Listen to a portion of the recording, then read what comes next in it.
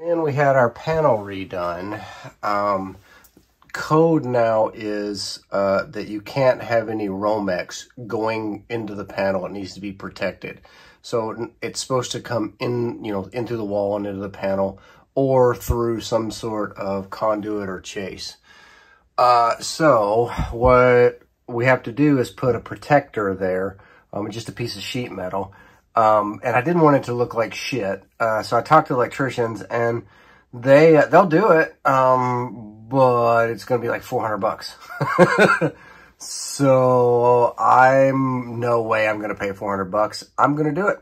I'm just going to run to the shop and spend an hour and uh, cut it out of some sheet metal and bend it up and put it in place. And one 24 inch by 36 inch sheet of super overpriced galvanized steel from my friends at Home Depot. All right, all laid out and ready to start cutting. I don't have a shear, so I'm gonna use uh, hand slicers. And I got a little extra uh, in case I screw it up because I don't exactly do this every single day. Um, yeah, let's uh, let's get to getting. It out. I will use my trusty handy dandy brake.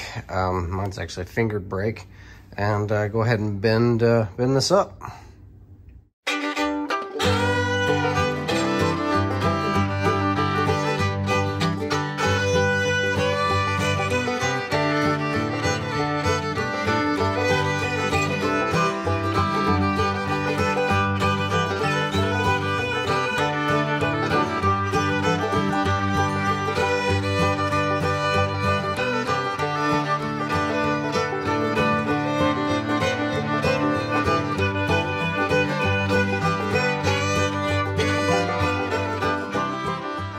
So I pulled the teeth out in order to do that last bend, but um, the gap here, I need it to be three and a quarter inches and or three and three quarter inches and it's only three and a quarter.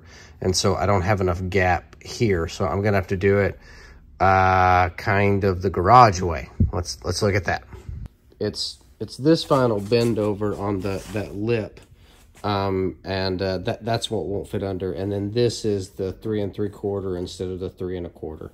So uh, what I'm gonna do is um, kind of a garage sheet metal trick and use my homemade two before brake and uh, my rubber bender here.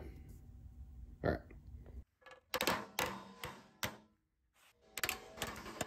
And so this is how that looks. I'm gonna clean that up a little bit. I'm gonna clean up some of these edges and file the sharp and then get it primed and painted. Cleaned with a little bit of naphtha and I'm going to put two coats of primer on it and a coat or two of, uh, of white satin and uh, yeah, let it just disappear. Right. Primer on. Ooh wee, first coat of white. I think I'm going to step out of the garage uh, before I can't walk anymore. Um, I may need a paint booth. Shit. My wife's home. I'm spray painting in the garage again. There's going to be hell to pay. Damn it.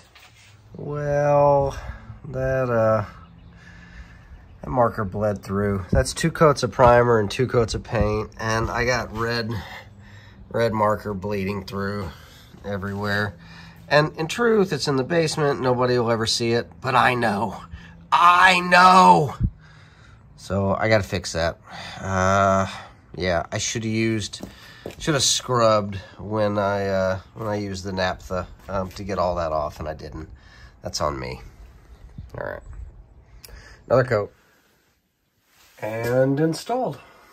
So completely blocking any access to that Romex. Pretty happy with that. Somebody's gonna ask me about why I bent this X in. Um, it's for structure so that if it were flat, it'd be easy to press in and it would be concaved here. Um, with the X, it, it makes it so you can't press in. It adds rigidity to the panel. It's something that you would do like in um, uh, a plenum, a duct uh, in an attic or, or, basement, that sort of thing.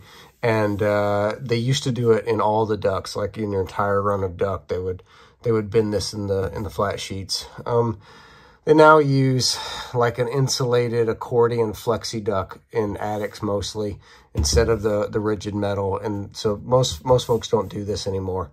But yeah, this is, this is how it should be done.